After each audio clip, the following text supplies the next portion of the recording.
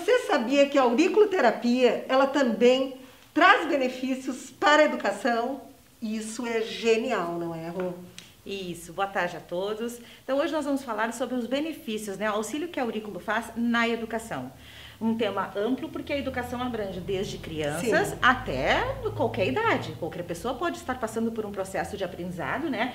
E a aurículo contribui muito, né? Tanto para as questões de raciocínio, memorização, foco, aprendizagem, né? Trabalha também hiperatividade, hum. né? Ansiedade e até mesmo alguns quadros depressivos que impedem. Não, e a gente sabe, não é, Rô, que hoje as pessoas estão sedentas por conhecimento, não é?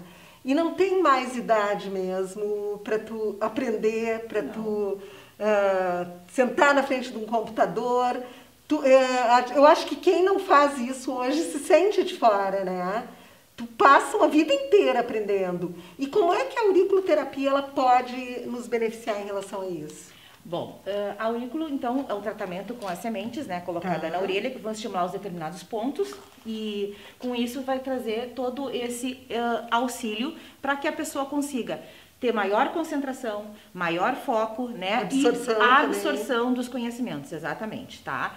Então, Uh, através de alguns pontos, a gente trabalha muito a questão do baço, porque o baço ele é conhecido como o intelecto, hum, né? Sim. Então, a questão de processamento de pensamento claro, objetivo, né? A gente trabalha o coração, onde estão fixadas as memórias também. Pois é, né? é, auxilia também para a gente memorizar. Sim, o processo de memorização com aurículo, excelente resultado. Tá, perfeito. E também o rim, porque o rim é quem nutre o nosso cérebro, né? Então, a gente também, com isso, consegue fazer todo um pacote e a pessoa vai ter excelentes resultados. Que bacana. É, é importante salientar, eu achei muito interessante isso quando estava estudando, que a aurícula, especificamente nas crianças, o processo ele é de, dá de forma muito mais rápida, porque as crianças elas não têm tantas defesas emocionais.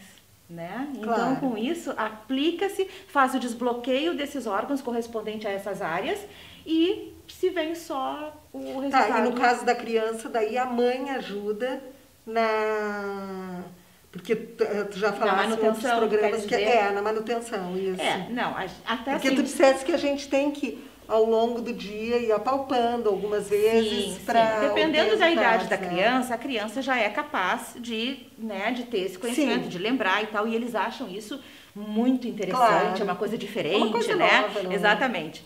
Mas, se não, com certeza, né? Até porque as crianças normalmente não vão sozinhas ao consultório, Sim. vai acompanhado do pai e da mãe, né? O responsável, e a gente faz essa orientação, então.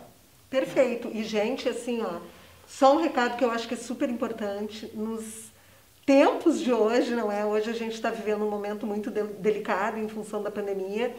A primeira consulta é feita no consultório, mas depois pode ser a domicílio, não é? É, a primeira consulta, até porque também, uh, se a pessoa realmente está muito debilitada por algum procedimento, algo que impeça de ir, a gente até abre uma exceção Sabe por que, que eu estou te perguntando, Rô? Porque a gente tem visto cada vez mais notícias de pessoas lidando com ansiedade, síndrome de pânico, e muitas delas não estão nem conseguindo sair de casa, né? uhum, né? Uhum. Então, nesses casos especiais, nesses casos dá para abrir uma exceção, sim, né? Uhum. A pessoa tendo um ambiente em que possa ficar em contato com, somente com ela, né? Porque claro, são só da pessoa. Sem dúvida. Então, sim, a gente pode fazer esse encontro em casa, né? E a manutenção, como eu te disse, não requer, claro. basta que tenha esse comprometimento, né? Em cinco a sete dias, eu visito novamente a pessoa e a gente revê todo a cada Caso. semana eu fico mais apaixonada pela auriculoterapia. Eu confesso para vocês que quando a Rô começou aqui comigo, eu não sabia nada. E é apaixonante, por isso que tu gosta tanto, né? Rô? É, realmente, traz muito significado, assim, e tem muitas relações. A gente acha que o mundo está só aqui fora, não, mas o mundo está aqui é. dentro também. E as nossas conexões com esse mundo e como a gente lida com tudo isso é tudo interrelacionado. Com certeza.